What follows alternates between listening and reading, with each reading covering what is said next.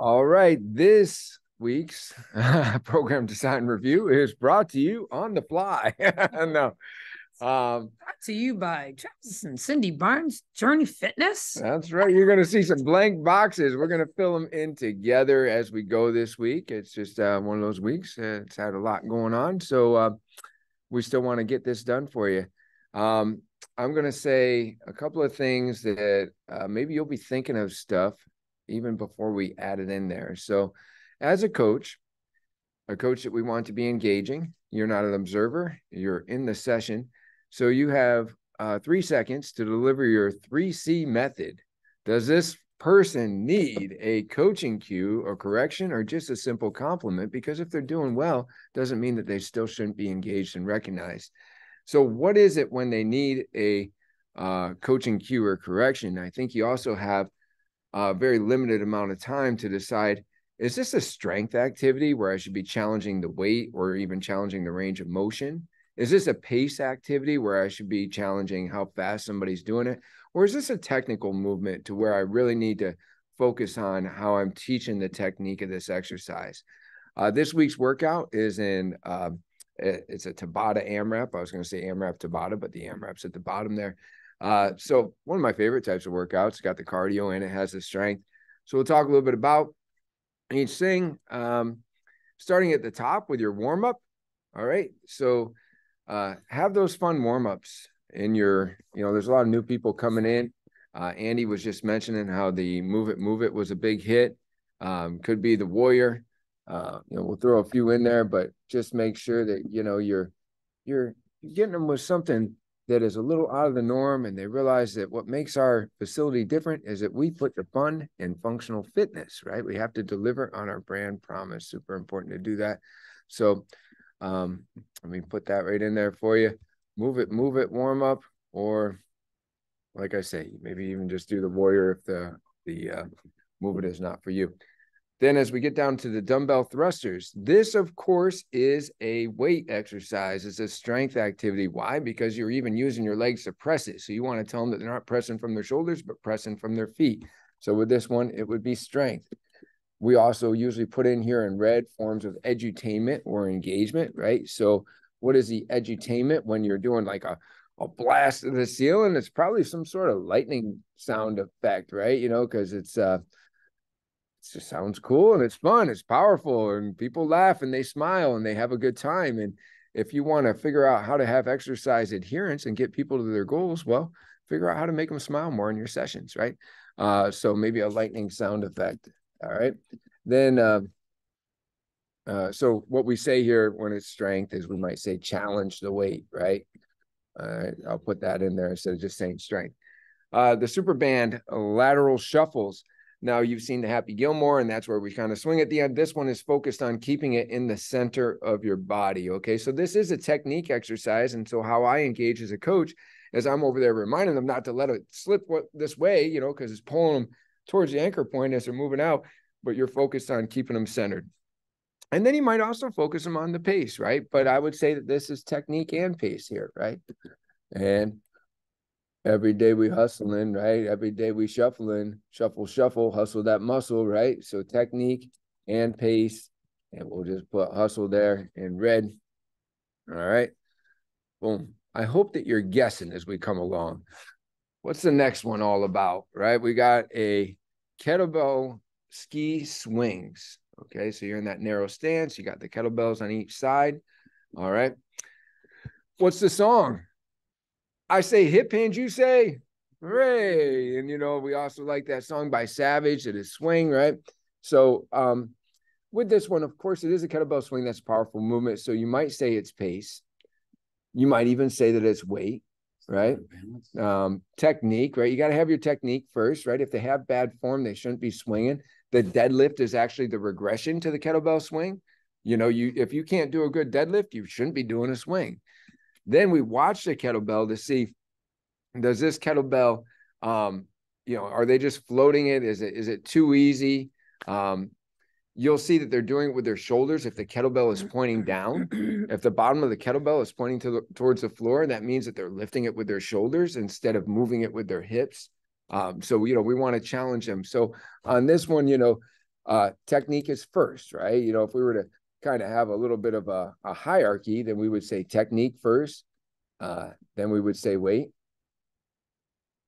Um, in the red, we could say hip hinge, hooray. We could say savage swing, right? I like to play that song, you know, when Cindy gets up there. Sometimes I, I really embarrass Cindy. No, we have a good time together. Yeah, she knows it's coming. The members laugh, but when she's bending and it's a an exercise designed to work the backside, is like, oh my God, Becky, look at her butt. Because everybody knows they're working on their posterior right now. So it's kind of a fun thing because you, you know, who doesn't want a, a good butt? In fact, it's many people's goal when they come to the gym. Oh, I want to look good. Thing is two tone of a butt. I want to look good naked, or I want a good butt, or whatever, you know. So that's a that's a common goal. Uh, the agility ladder hopscotch. Okay, so two feet in, two feet out.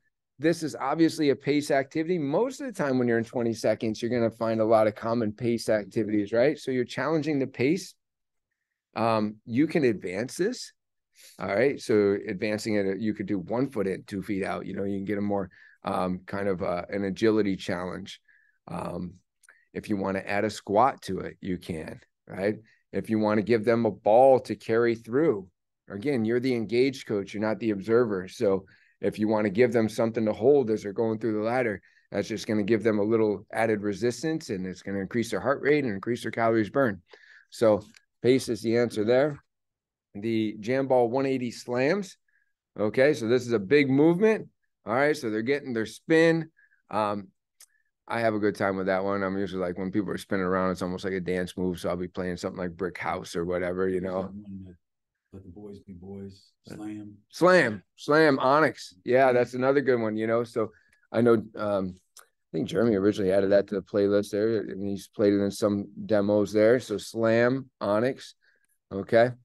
Um, I will say this the jam ball slam is not about weight it's about a pace it's about a speed right. and too often people think oh well what if i could spin around and slam this 60 um i can tell you we're, we're on a second floor we don't want that going on in our facility right we have a basement below us mm-hmm. um but we really want people to understand that this is a power activity it's an explosive activity it shouldn't be about uh, you know, anchoring yourself with too much weight. So right. slam, onyx, um, so when you're challenge. demoing Say it, say it, say it. Yeah, challenge the pace on that. All right. So that is um, your Tabata portion. Then over here, we got uh, an AMRAP. So we got the kettlebell bent over goblet row. Now, these are something, remember, when we uh, highlight in orange, when we do the orange highlights, that means you might have to question your facility. Should these exercises be in the same order in the same place because we all have to look at our layout and say, is this how it works for our facility? Um, the kettlebell bent over goblet squat. Okay, so if I'm looking at our facility, um, the first three could go there, but then I have to look at the other two. So then I have a plyo box, eccentric uh, step down. I have a diamond push up, and then I have a stability ball uh, underhand front raise. But then in my facility where I would normally do the dumbbells, I also have a TRX suspended pull up, right? So I might have to switch something around here. And then the C sit leg lift and then the dumbbell front squat, front squat. Sorry. Go ahead, Cindy. What were you pointing out? I was just saying, actually, in number one, you can't do the super band assisted. Right, right, right. Yeah, I read super band, but the assisted has to go to an anchor point by the ropes, right? right? Mm-hmm. So if I took this, uh, I need to get this over to my ropes right? Right. And so, um, with that, we're going to probably have to move. There's another dumbbell front squat one. Yeah. So we'll probably have to do something like that. We'll uh we'll change out our number threes for sure. Um move that around a little bit. Um could we? could we have number one and number two both have uh, dumbbell exercises? I mean, we could kind of land them right there near the dumbbell rack. We could do that if we wanted to. Would we want to? Going to.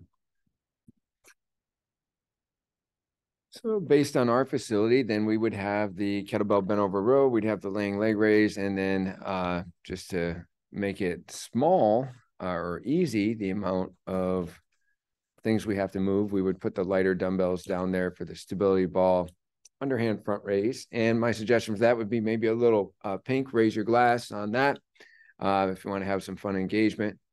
Uh, also, when it comes to engagement, don't forget about the power of touch when you're coming along and somebody's needing to squeeze their shoulders, uh, the leg raise to the hip raise, giving them a target for their feet when it comes to, uh, you know, making sure they're going straight up and elevating those hips.